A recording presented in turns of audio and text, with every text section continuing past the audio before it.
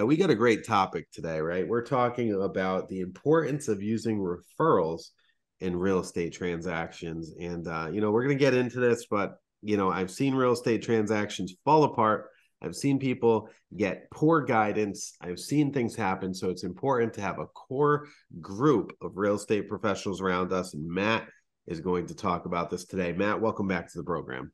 Yeah, glad to be here. I, I thought this was an important topic. Um, uh, almost every single lead that I get in is from a referral. Yep. And that's what's most, and it's so important to me.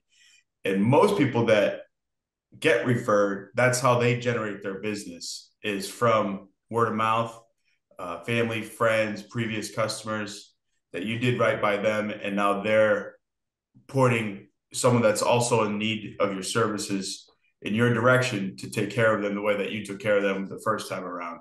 And so that's, you know, organic business is what we all strive for. And that's the definition of organic business right there.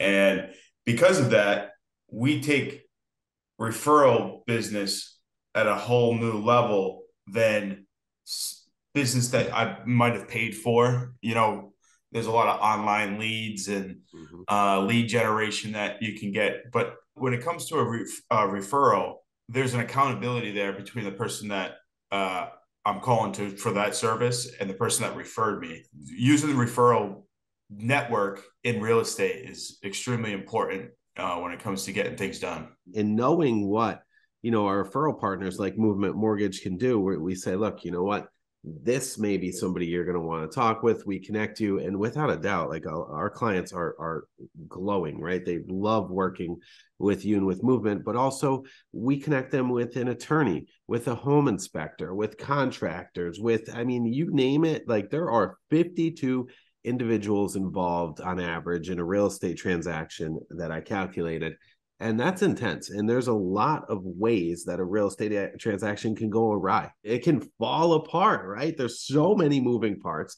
There's so many people involved and if you are not dealing with a plus players you are shooting yourself in the foot. The biggest part is the accountability. So i'm accountable to if emilio refers me a client, not only do I work for that client, but I'm also working for Emilio because we're all we all have a game plan and it takes a lot of different players to make that game plan work. We have our processes down, we have our teamwork, we're finishing each other's sentences. There's a lot of trust there to get the job done. Now, if Emilio has a client that is working with a random lender, an internet bank, a out of uh, you know out of touch uh, mortgage company there's no accountability there between the, the bank and the real estate agent. So if if one of those two people don't do their job, it could crumble. And there's a lot of money on the line.